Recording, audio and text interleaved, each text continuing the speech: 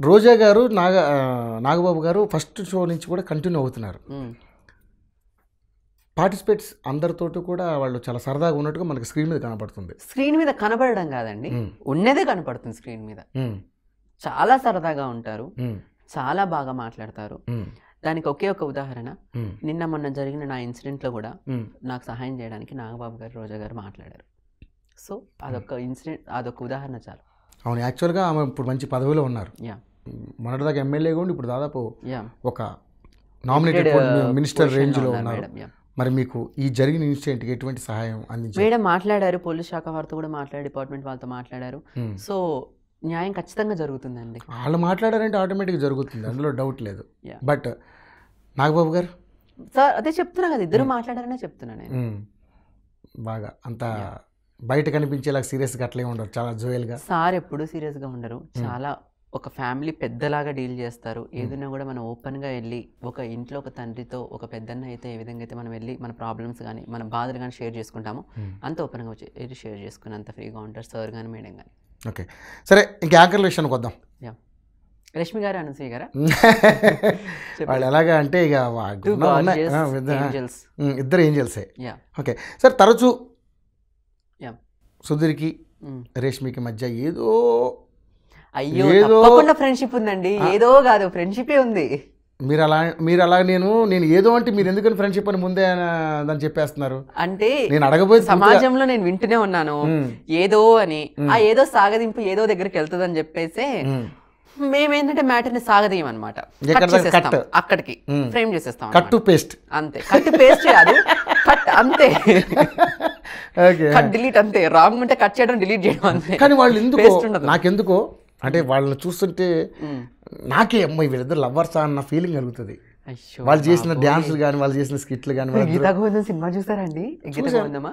ఆ, అర్జున్ రెడ్డి సినిమా చూసారండి? చూశాను. అయ్యో మీరు వాళ్ళు ఎందుకు అనుకోవట్లేదండి? అంతకంటే మంచి రొమాన్స్ చేస్తారు కదండి వాళ్ళు. వాళ్ళు రొమాన్స్ చేస్తారంటే అది జస్ట్ ఏది ఒక టూ అండ్ హాఫ్ అవర్స్లో కంప్లీట్ అయిపోయింది దాన్ని మర్చిపోయారు జబర్దస్త్ అట్లా మర్చిపోవట్లేదు నిత్యం కనపడుతూనే ఉన్నారు కదా టూ. అండ్ హాఫ్ అవర్స్ చేసి మర్చిపోయినా కూడా రెండున్నర దశాబ్దాల పాటు గుర్తుండిపోయే సినిమా కదండి అది.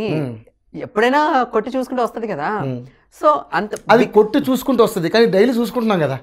అది బిగ్ స్క్రీన్ మీద అంత చేయగలిగినప్పుడు స్మాల్ స్క్రీన్ మీద చేయలేమా చెప్పండి. సరే ఇంతకీ మీరేమంటారు ఇప్పుడు?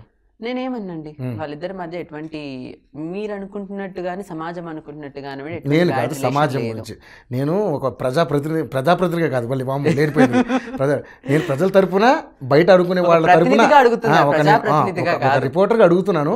నిజమా అబద్ధమా? అదే అబద్ధము. నేను ఫ్రాంక్గా చెప్పేశాను it's a fake. Fake. It's a gas మరి సుధీర్ మీద ఎందుకు అట్లా ఊకే వాడు మంచి రసి కూడా నా కామెంట్స్ ఎక్కువ పడుతుంటాయి? ఏంటండి? సుధీర్ మీద అమ్మాయిలతో ఎక్కువ బాగా?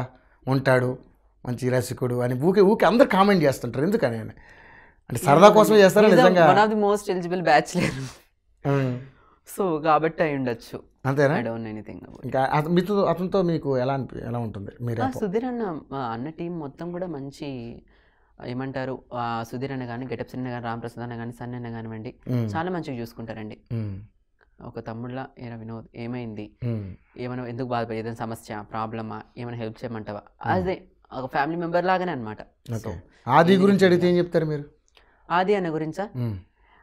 పంచింగ్ ఎక్స్ప్రెస్ అని చెప్తాను నేను. ఎక్స్ప్రెస్ లెవెల్లో పోతుంటాను ఎక్స్ప్రెస్ ఓకే. యా. చాలా అసలు తన యాక్టింగ్ నిజంగా మీరు అన్నట్టుగా చాలా న్యాచురల్గా అట్లా అసలు తడువుకోడు ఏదైనా వా చెప్పడం కోసం. ఏదైనా మాట తడబడుతుంది ఎవరికైనా అయితే. అసలు ఆయన మన వాడికి తడబడి ఎక్స్ప్రెస్ తడబడదు కదండి పోతుంటది. స్ట్రైట్గా సయ్యని వెళ్ళిపోతూనే ఉంటుంది. ఎక్స్ప్రెస్ అని అందుకే పేరు వచ్చింది దానికి. ఓకే రైట్ చంద్ర గారి మీద మీ ఒపీనియన్ చెప్పారు. ఆది గారి మీద చెప్పారు సుధీర్ మీద చెప్పారు. రామ్ ప్రసాద్ రామ్ ప్రసాద్ అన్న ఆటో పంచెస్ అండి. Hmm. అంటే అన్నది ఏంటంటే ఇప్పుడు ఎక్స్పెక్ట్ చేయని విధంగా ఉంటది అన్న దగ్గర. ఇప్పుడు మాట్లాడుతూ మాట్లాడుతూ కూడా స్క్రిప్టింగ్ లెవెల్లో ఉండదు అనమాట ఎవరైనా అబ్బా వెళ్తే ఇది వస్తుందని ఎక్స్పెక్ట్ చేస్తారు. కానీ అన్నది ఏంటంటే టక్కున వేరే పడిపోతుంది అనమాట సిచ్యువేషన్ బట్టి వేసేయగలడు అన్న పంచెస్. అంత హైపర్గా ఉంటాడు అన్న ఓకే. సరే లేడీ గెటప్లు వేసే వాళ్ళలో. మీకు బాగా కాంపిటీషన్ ఎవరు? మీరు ఆల్రెడీ క్వశ్చన్ అడిగారు నేను ఆన్సర్ కూడా చెప్పేసాను దీనికి. అంటే కాంపిటీషన్ అంటే మీ క్యారెక్టర్లు కూడా డామినేట్ చేసి మేము మీకు లేని అవకాశం వాళ్ళు కొట్టేసే అంత కాంపిటీషన్ ఎవరికి ఎవరు లేరు ఇక్కడ ప్రతి ఒక్కరు చేయడానికి.